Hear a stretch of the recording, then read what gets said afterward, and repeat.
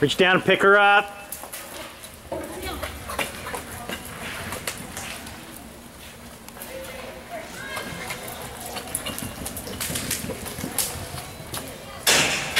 Jenny, your time would have been a 16.198, 16.198.